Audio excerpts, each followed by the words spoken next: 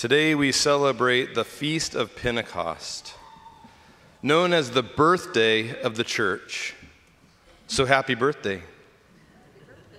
We got a celebration afterwards out back on the patio. Pentecost comes from a Greek word that was the celebration of a Jewish feast. It was at first known as the Feast of Weeks because seven weeks after Passover, they celebrated the first fruits of their harvest. Also became as known as the Feast of the Harvest. But for Christians, it's become the closing of the paschal season. The mission of Christ and the Holy Spirit is brought to completion in the church. We are now the mission us, the body of Christ, the temples of the Holy Spirit.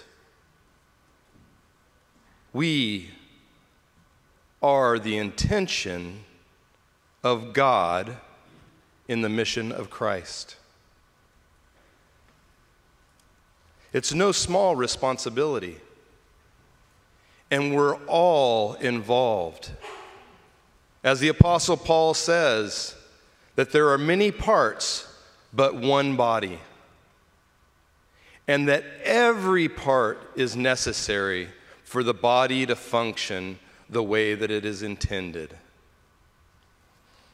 Last week, Father Alex talked about how the Holy Spirit manifests itself, how it did in the Old Testament, primarily in priests, prophet, and kings and then how in the New Testament Jesus came so that we might have a new inheritance, so that we might all live out this calling to be priest, prophet, and king. And he intended for us to not do it alone, but he gave us a helper. He gave us the Holy Spirit. The Holy Spirit who comes with power, with purifying fire.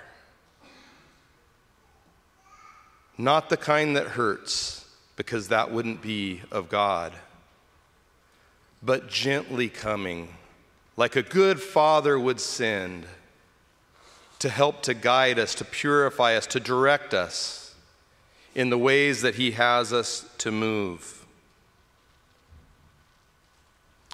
Father Alex talked last week about having kingdom dreams.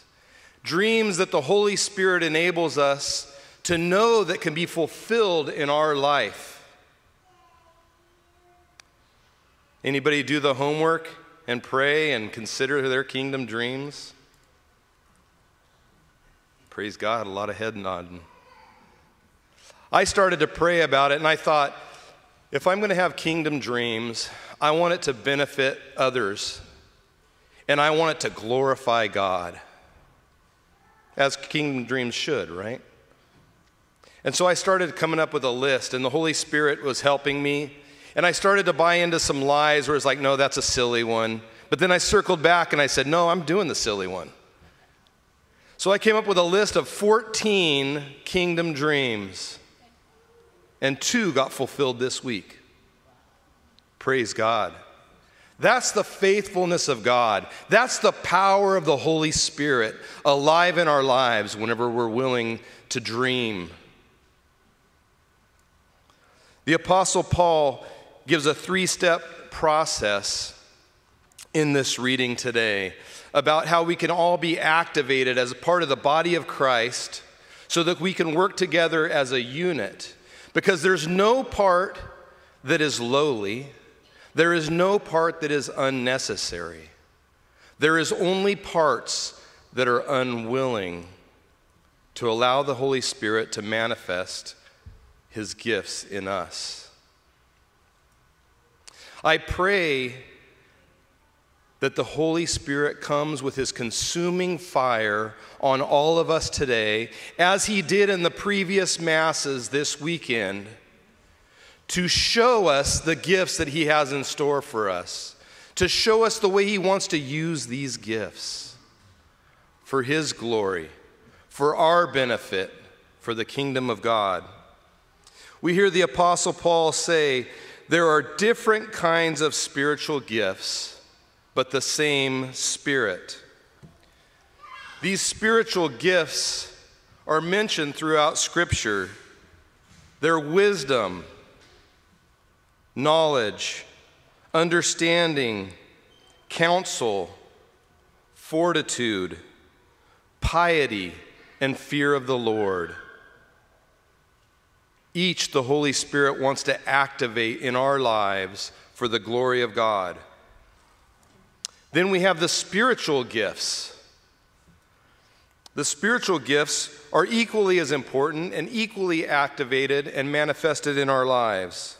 They are words of knowledge, increased faith, the gift of healing, the gift of prophecy, the gift of miracles or mighty deeds, the discernment of spirits, and the gift of different types of tongues and the interpretation of tongues.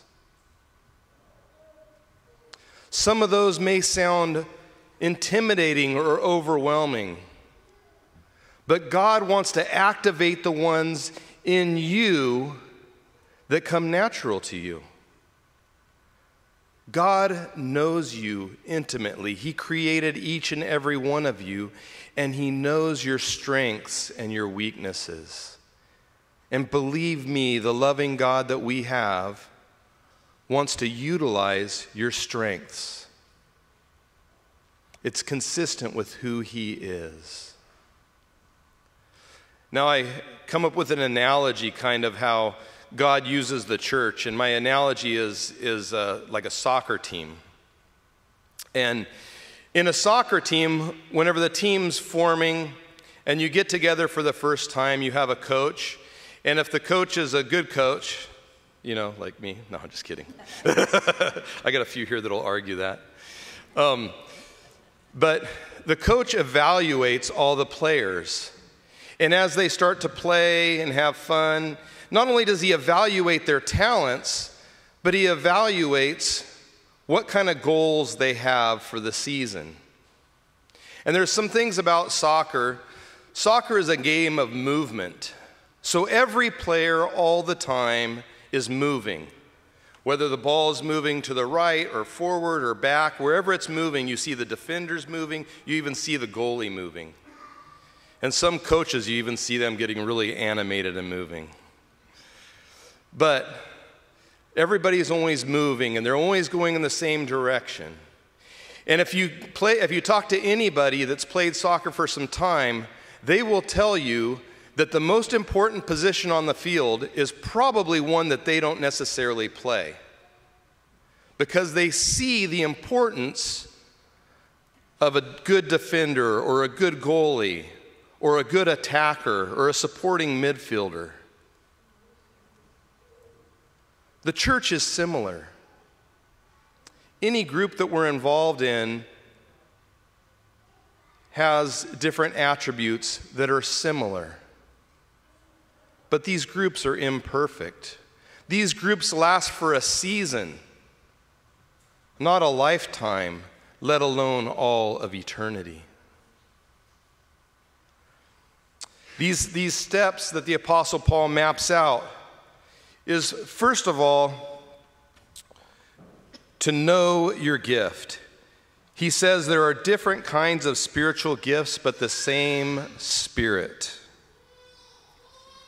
So, how do you know your spiritual gifts? The Greek word for gift is charisma. What is your charism? This can be revealed to you through prayer, through spending time with the Holy Spirit. He will faithfully show you your charism. And it's most likely something that you're already operating in. If you have the, the gift of piety, you're probably a prayerful person. If you have the gift of, of teaching, of understanding, You're probably already teaching. The next step, the Apostle Paul says, there are different forms of service, but the same Lord. The Greek term for service that he uses is diakonia. Diakonia is putting yourself in ministry, in service. We realize our gifts through the power of the Holy Spirit, and then if we have willing hearts, if we're open, if we acknowledge the part of the body of Christ that we are, then we willingly step into our diakonia, our ministry role. The third step is there are different workings, but the same God. This workings is the fruit, is the effect that we have. The, ter- the Greek term for works is energema, from which we find the word energy or movement or activity. The Holy Spirit is always moving. And therefore, as church, we are too called to be always moving. Now, I know I sat in the pews for many, many years before I was open and willing to the calling that God had on my life. Many of those years, nothing broke through the walls to even encourage me to listen, much less realize the gifts that I was given. If you can't start at square one, how can you move on to ministry? You end up moving on ineffectively and not in the right place that God's calling you to. Father Alex said that about 30% of our church is active in the different ministries that we have. And like a good coach, I want to say, praise God. Because that is by far beyond the average. The average church, only 10% of the people do 90% of the work. So we're like three times above average but I know that we're capable of more. So I want to pray this morning and take this time for us each to listen to the Holy Spirit, to allow Him to enlighten our minds, to activate our souls to be of service to one another, to be able to express the love of God to one another, to live out our calling as body, to truly be the temples of the Holy Spirit we are called to be. I want to invite each of you to get into a prayer posture, whether it be eyes shut, hands lifted, however you feel comfortable.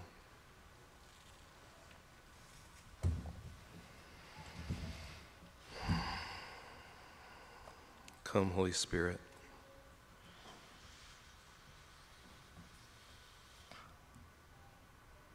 Come, Holy Spirit, fill the hearts of your faithful and enkindle in them the fire of your love. Send forth your Spirit, and they shall be created, and you shall renew the face of the earth.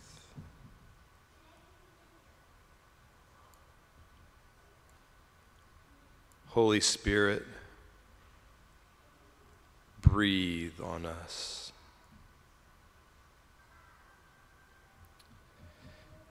Illuminate our minds to the gifts you have in store for us. The gifts that you want to activate in us.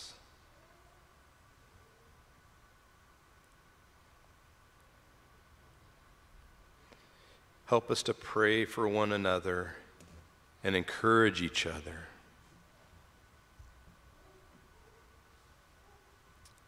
Help us to be so bold as to point out each other's gifts for your glory.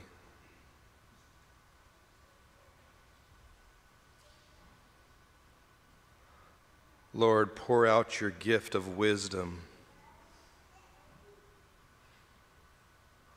Pour out your gift of understanding. Pour out your gift of counsel. Stir in our hearts so that we can be used by you. Pour out your gift of fortitude to strengthen us. Well up this spirit of fortitude within us, Lord, so that we have a holy boldness. Pour out your gift of piety so that we can be intercessors for one another,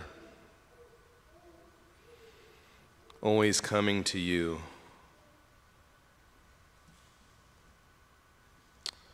Pour out your spirit in the gift of the fear of the Lord, awe and respect of you.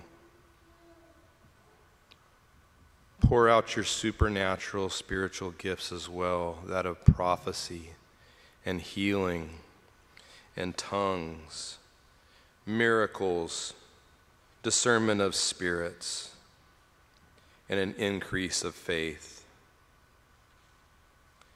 Give us the courage to share those with one another and with the world at large.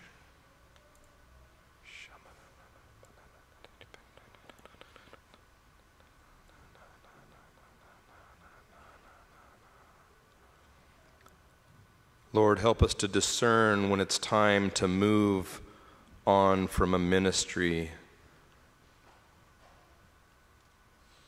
that has grown stale, that has grown too comfortable for us. Give us the courage to be stretched. Activate us, Lord.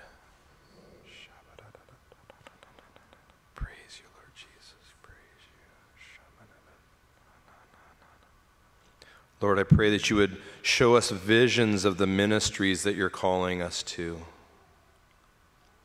Pictures of us, pictures of those we've seen in our lives do these ministries so that we can recognize your calling to them.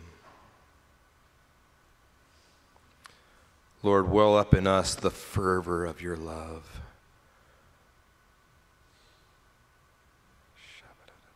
praise you, Lord Jesus. Praise you. Praise you, Holy Spirit, for your acting in our hearts and minds. We pray all this in the name of Jesus Christ our Lord. Amen.